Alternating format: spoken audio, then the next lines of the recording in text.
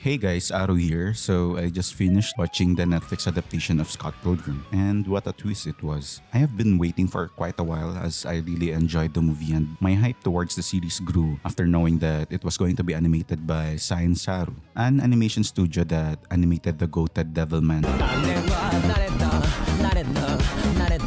and the upcoming Dan Da Dan. So before I start, I want to apologize if you can hear the rooster uh, making sounds because I am recording this 4 a.m. in the morning. So to begin, Scott Pilgrim takes off with huge similarities in the first episode. And to me, it was quite nostalgic with the amount of shots portrayed similarly with the OG movie. And of course, word of warning, this video contains a lot of major spoilers in both the series and the movie. The first change starts with the battle between Scott and Matthew Patel. And quite frankly, I was left confused with how unexpected it was. This is why some fans are saying that the series is a bait and switch and hardcore fans got turned off in the first episode. And one of the main reasons that it felt like a bait and switch is because the trailer gave everyone an idea that the show was a remastered story of the movie or the comics. I'm not that sure as I haven't read the comic variant yet. Yet after leaving me surprised and confused in the first episode, and to be honest, I was uninterested on watching the next few episodes, I was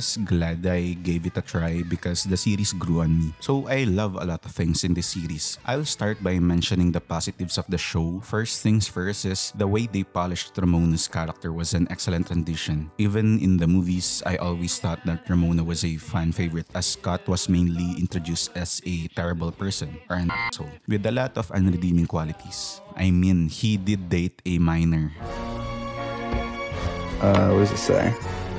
And of course, the story doesn't only revolve around her, as her seven evil exes were deeply humanized. Aside from the seven evil exes, the other side characters was also developed pretty well. Even Scott with a small screen time was a little bit toned down on how unlikable he was, which gave me mixed opinions about it. So instead of seeing the evil exes as a group of douchey people or a group of evil stereotypes that you see for less than 5 minutes, I think most of them did great in their past relationship with Ramona, but the portrayal in the show was Ramona kept running away from her relationship and left some of them hanging, which gave a lot of terrible ending to her past relationships. A prime example of this is Roxy, which I'll be more in depth later on. So we pretty much see her give a resolution with each one of them. Ramona has always been the main romantic interest of Scott, so whether we are talking about the movie, comic, or the show, I was always interested on seeing more of her perspective.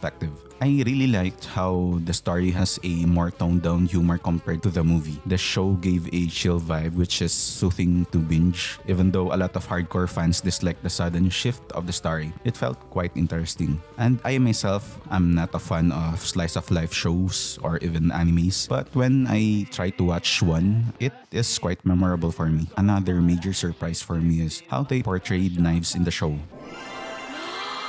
On the get-go, after watching the movie and realizing Scott was dating a high schooler, I was expecting some call out about it and uh, my pants, I kid you not, when the evil exes themselves called out Scott on dating a minor. And of course, another spoiler warning. After everyone thought Scott really died, Knives was lost for quite a while, for an episode or two.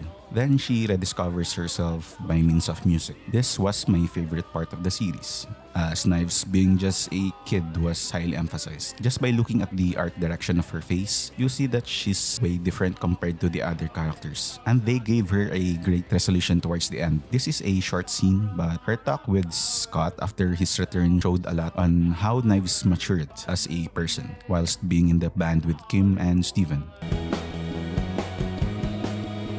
This may come more like of my own speculation, but Kim felt like a guardian for Knives, helping her rediscover herself through different instruments or while being in the band, while Steven and Knives had a brother-sister dynamic in the making of the musical and at the end. Lastly, the evil exes. One major twist that I enjoyed was Matthew Patel's increase in screen time all throughout the series. After supposedly defeating Scott, he challenged Gideon for the first spot and succeeded. I think this kickstarted the development of the other exes. Gideon's loss in position gave him more opportunity to spend his time with someone I didn't expect. Then we get this bro dynamic with Lucas. Some of them might just have a single episode from their character arc, but it was enough for me to understand their intentions, which wasn't really uh, tackled about by the movie because, of course, obviously, the screen time is way different compared to an 8 episode series. And I especially want to emphasize this towards Roxy. Her fight was one of my favorites, not only because of the animation, but how her relationship with Ramona was portrayed. I forgot to mention that Roxy's voice actress did a lot of heavy lifting towards this episode.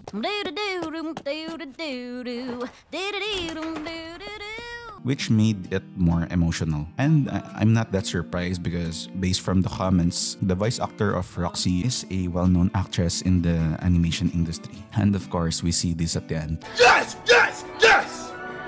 As for the things I didn't like, I can't really say much as I mostly enjoyed the show. One major thing that felt off that a lot of fans noticed and of course dislike is Scott's screen time. Yes, we do get a lot of Scott towards the end, but I'd prefer that he was there seeing Ramona's development while interacting with their past relationship. I think it would have been more impactful. Yes, we got to see Ramona's development, but wouldn't it be great if Scott saw most of this, which gives him more reason to push or commit a relationship with her? I know this is quite a nitpick, but a lot of fans were really craving for more screen time for Scott, and the, the amount of episodes didn't really help with his case because I also wished that uh, they gave the series more episodes, knowing that the directors won't be planning on giving this series a sequel because the story has already ended and they don't plan on milking the characters. I wished they add more episodes given that thought. The movie version of Scott has a lot of similarities with the series, but we see a lot of resolution towards the end of the movie. Compared to the series, in the end, we see old Scott and his selfish desires. And quite frankly, even with age, he is still quite immature. Seeing this, the challenge for the present Scott is to avoid becoming that version of his future.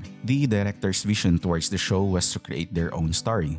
And I do agree with their thoughts as just fully recreating the movie was an easy way out for the fans to enjoy. I was honestly hoping that I could get to see the whole comic or the main source material getting an animated adaptation, but this show was a breath of fresh air to me. So in the end, even if we're talking about the series, comic, and the movie, for me it felt like they always had the same message. So Scott and Ramona was always a flawed person. That includes everyone. Each one of us has their own flaws, whether big or small, but through time we could get better. So I really enjoyed the series and I am hoping to get more of this type of genre on Netflix. It wasn't perfect, but the retelling of the story was quite memorable for me. The animation was also great and very consistent. So I highly recommend this to everyone. And if you were one of those hardcore fans of the previous source material, I'd highly recommend not giving up on this series as you might be satisfied at the end. Anyways, that's it for today and see you when I see you.